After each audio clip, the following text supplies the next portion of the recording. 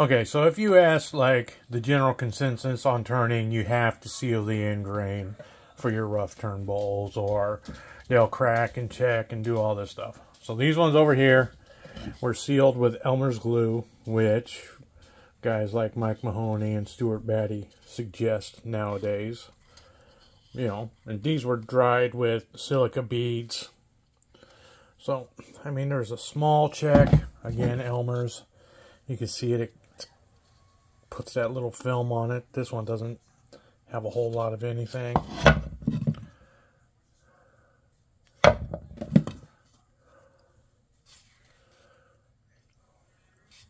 done with some Elmer's glue, all these bowls.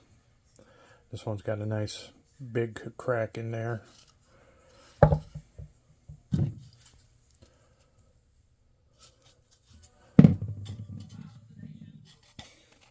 Okay, so these ones, you can tell the difference. They don't have any coating on them. This is cherry. You know, nothing. Nothing. This one was actually microwaved and silica bead and is in better shape than most of the ones that had the end grain sealed. Again, silica beads, nothing. There's a pear bowl, smoked in the smoker, no coating.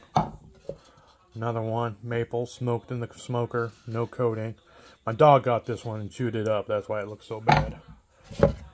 But silica beads, no coating, just bare once turned, you know.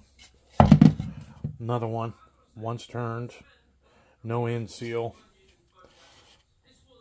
you know, maple. Dried in a week.